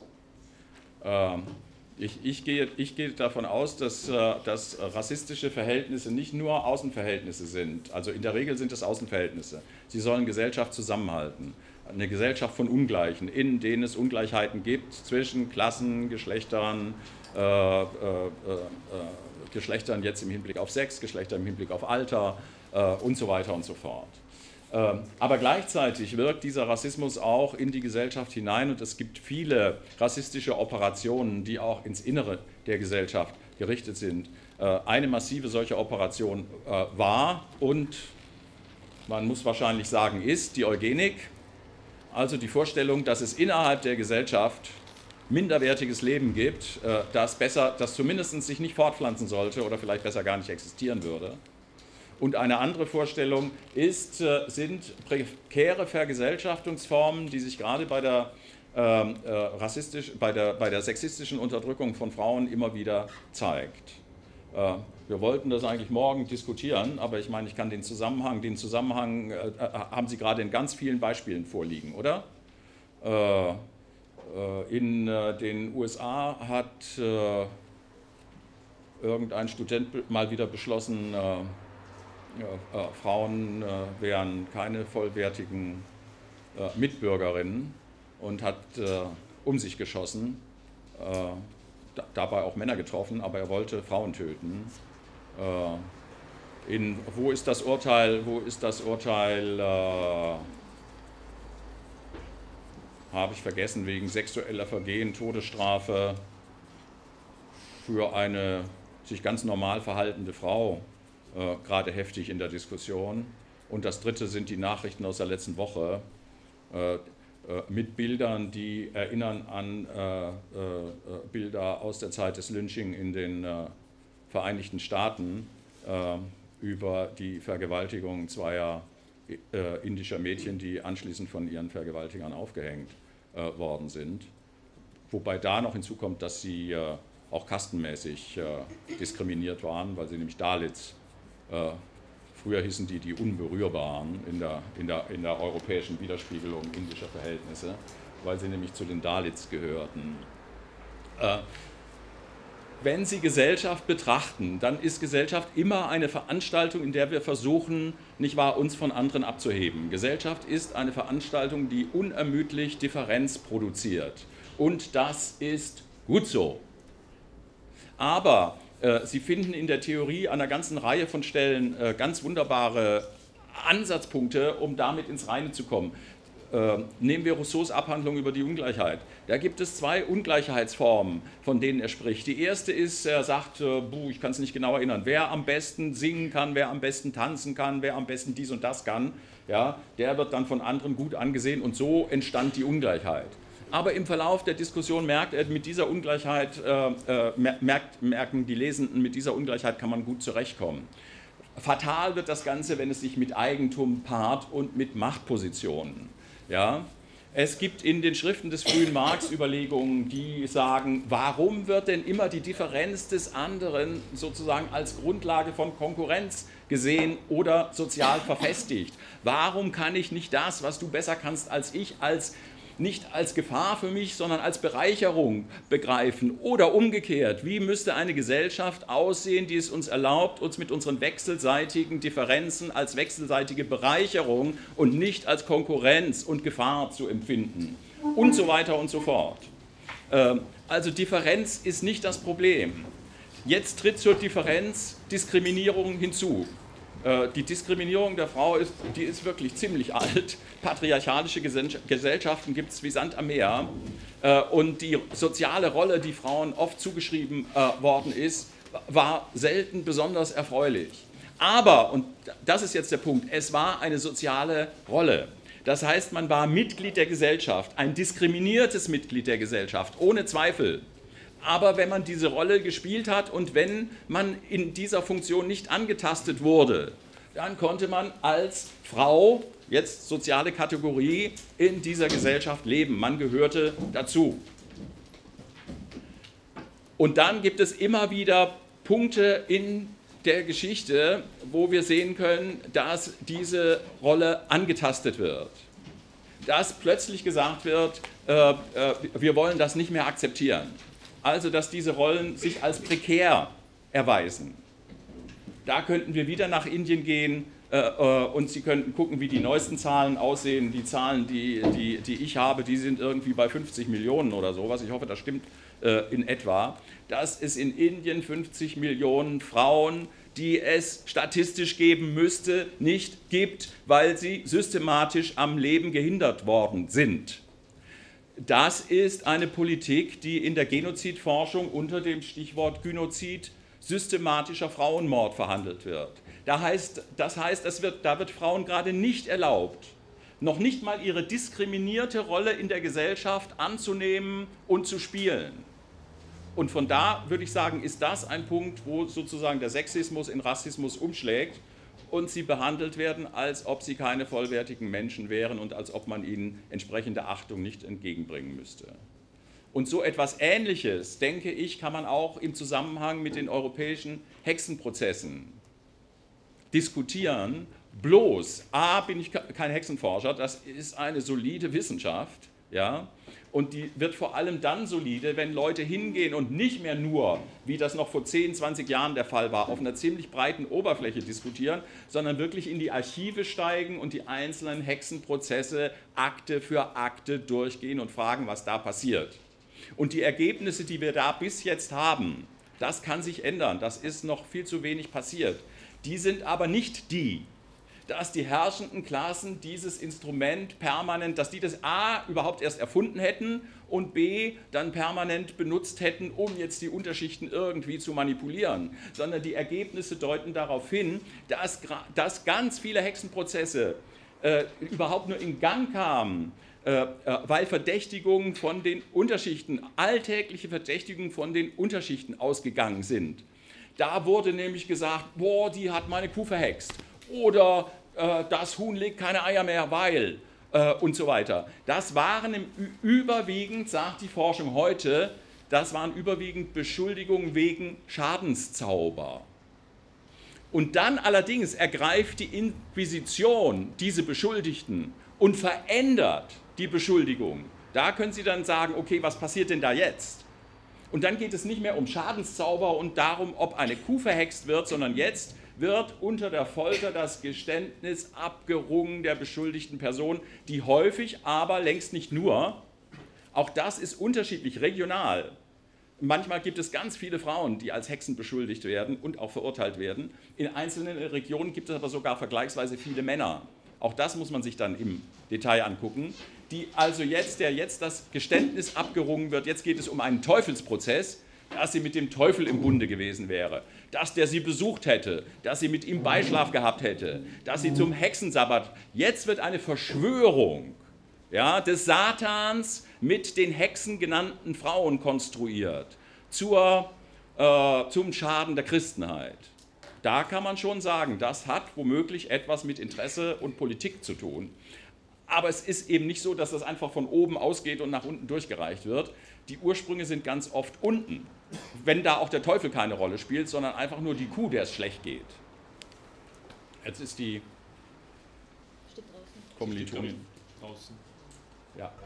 Ähm, ich bestelle dass Sie der Meinung ist, äh, bezüglich der, der sogenannten Angst vor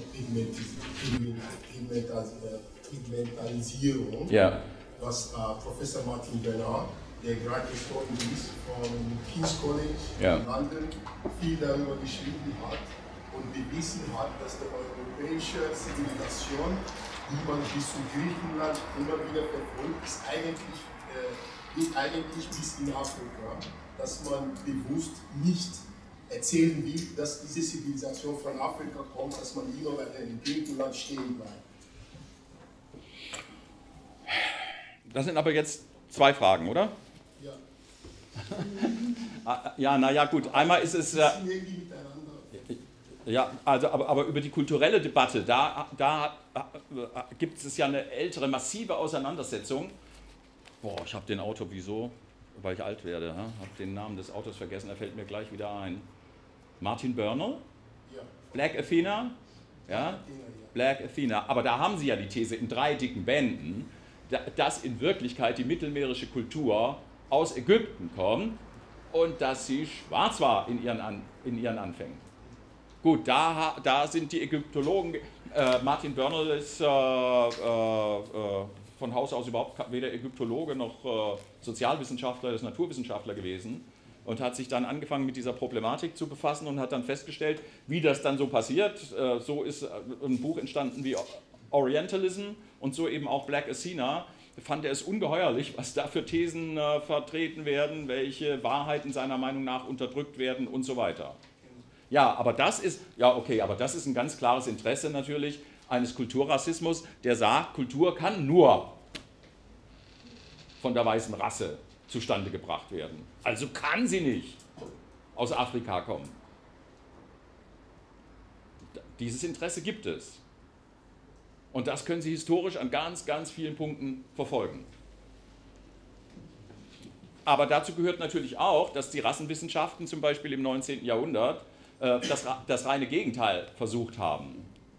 Äh, es gibt äh, einer, der, einer der berühmtesten Naturwissenschaftler dieser Zeit, da sind wir dann auch wieder in Frankreich, war Georges Cuvier.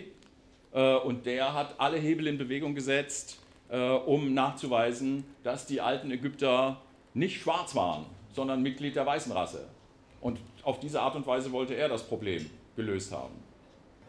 Nicht nur er, und der Gouverneur auch. Okay, aber, aber, aber, ja, aber Gobineau ist mir in dem Zusammenhang, obwohl er viel Schaden angerichtet hat, ist mir in dem Zusammenhang gewissermaßen egal, weil der Gobineau wirklich so einfach aufs Korn zu nehmen ist. Das ist eine reaktionäre, vergleichsweise dumme äh, äh, Ideologie, aber Cuvier, Cuvier, Cuviers Name, Gobineaus äh, Name steht nicht am Eiffelturm. Aber Cuviers Name steht heute noch, da sind ja die Großen der französischen äh, Kultur- und Wissenschaftsgeschichte rundrum, Philosophen, Literaten, Naturwissenschaftler und so weiter, stehen ja da alle dran. Und er an ganz hervorragender Stelle. Und er gilt nach wie vor als einer der großen Gelehrten äh, des 19. Jahrhunderts. Äh, das heißt, das ist einer wieder aus dieser Wissenschaftscommunity, äh, der weltweit Bedeutung hat und dessen Ideen weltweit rezipiert wurden und ähm, die bis heute gewissermaßen in ihrer Funktion für die Entwicklung rassistischer Ideologie nicht intensiv desavouiert worden sind. Das war jetzt nur ein Teil Ihrer Frage. Wir haben zwei Meldungen, drei jetzt. Ich würde die vielleicht wieder reinnehmen. Das war einmal der Kollege hier ganz hinten, ja. Ja, also ich habe eine Frage zum Titel der Veranstaltung. Ich bin, äh, also es wurde suggeriert, dass wir uns mit der Frage beschäftigen, ob Rassismus ohne Rassen macht.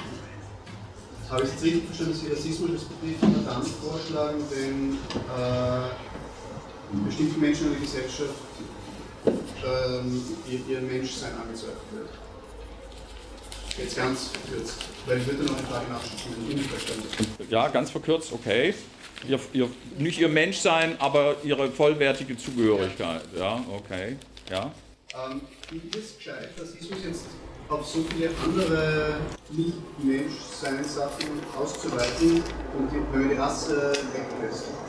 Also, es hat einen praktischen Hintergrund, warum ich das beschäftige mich mit politischer Bildung mit Jugendlichen und äh, da sind ja ganz viele äh, Versuche immer anderen, das, das vollwertige Menschsein irgendwie zuzuerkennen.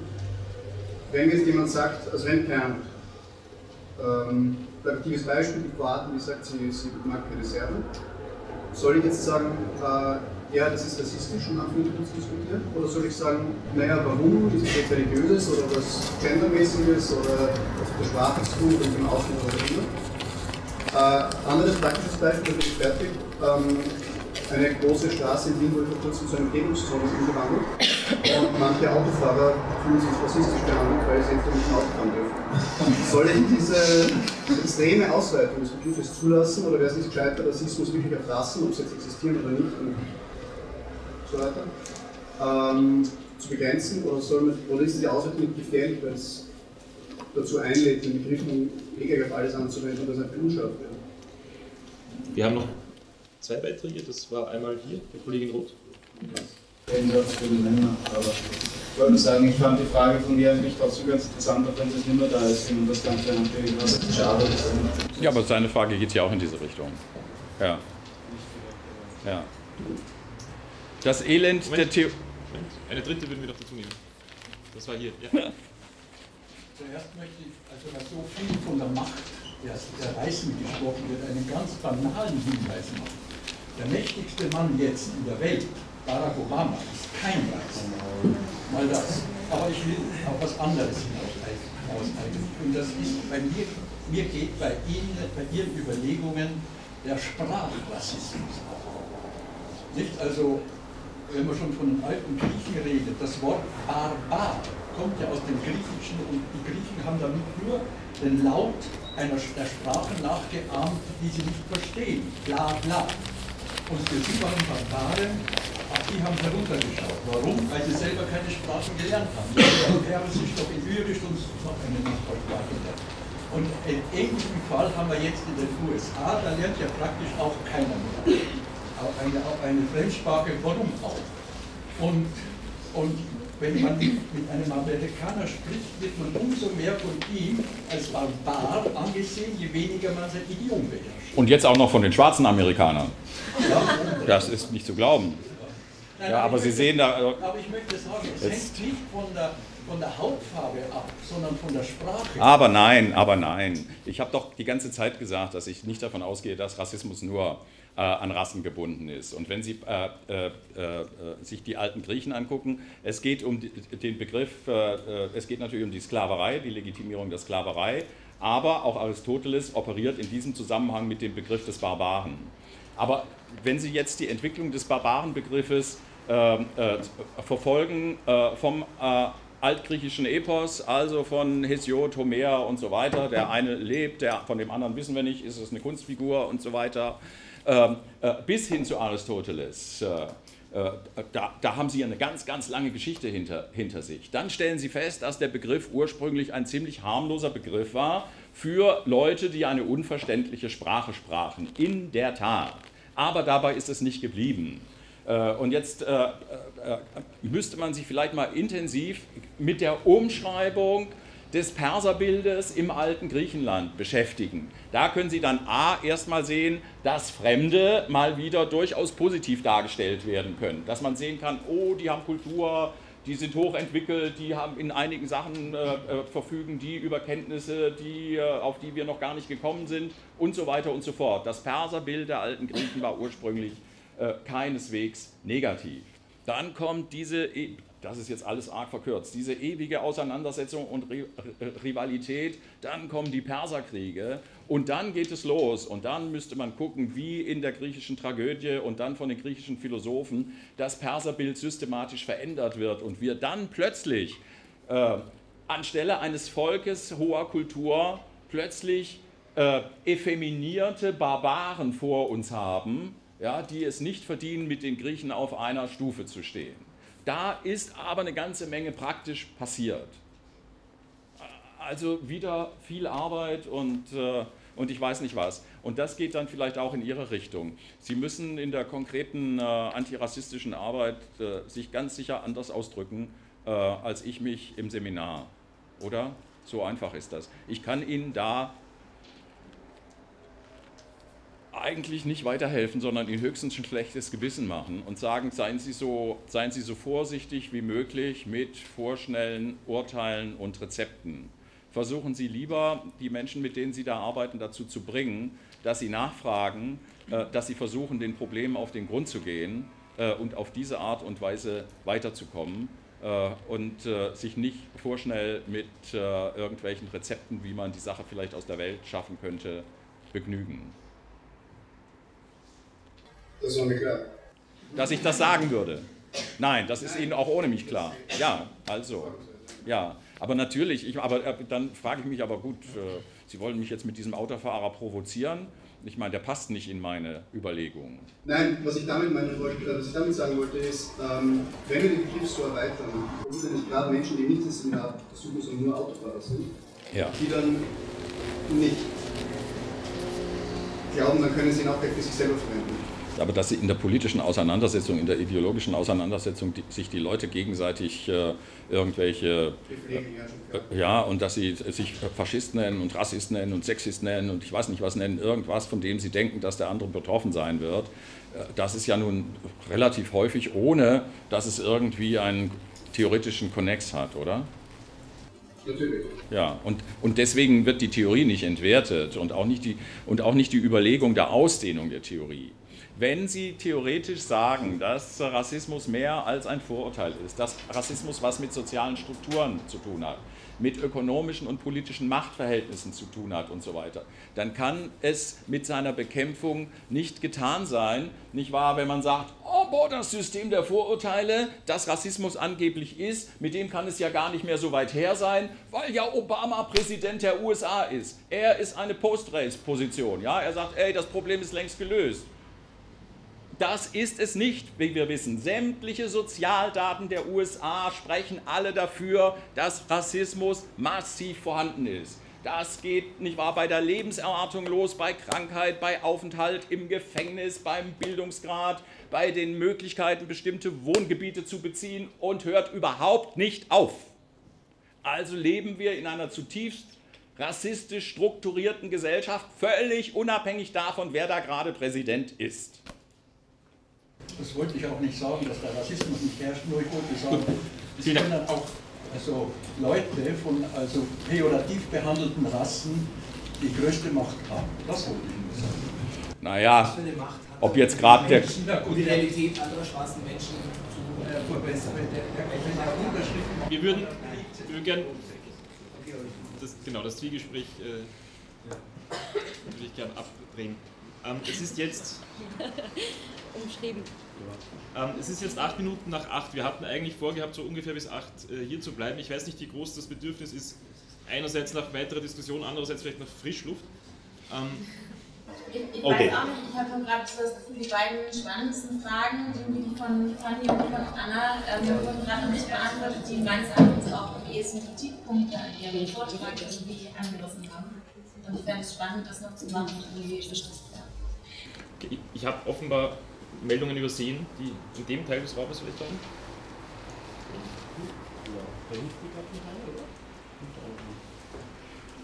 Hat irgendjemand aufgezeigt, ich habe die Person übersehen? Dann bitte jetzt einfach nochmal aufzeigen. Nein, dann wäre sozusagen das äh, Insistieren auf die Frage nach den. Ja, ich habe das überhaupt nicht als Kritik an meinem, vielleicht das, ähm, Ich auch nicht. Als an meinem, an meinem Vortrag. Ja, aber mein Vortrag bezieht sich auf historische Rassismusforschung und auf, auf die Frage, wie wir da paradigmatisch arbeiten können. Äh, ob wir dabei an den Rassenbegriff gebunden bleiben sollen oder nicht. Und die, der Transfer theoretischer Diskussionen in praktische politische Arbeit ist immer hochkomplex.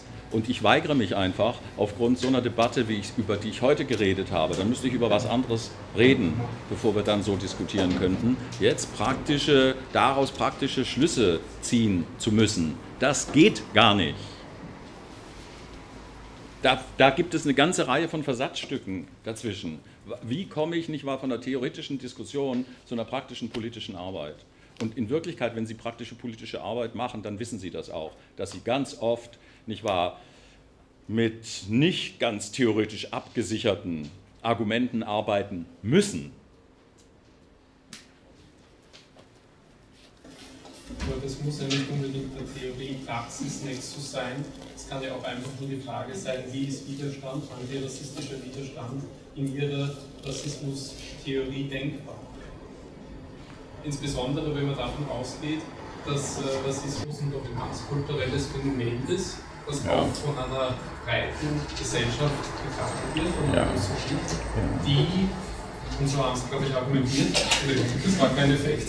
Äh, so haben sie argumentiert. Ja. Äh, dass äh, auch untere Schichten, untere Gassen einen bestimmten Vorteil davon haben, wenn sie einem rassistischen Weltbild folgen oder äh, einer, einem äh, rassistischen Diskurs folgen. Das heißt, die Frage ist schon, wie, wie kommt es dazu, dass diese Gruppen in einem hierarchisierten Gesellschaftssystem widerständig werden, antirassistisch agieren können.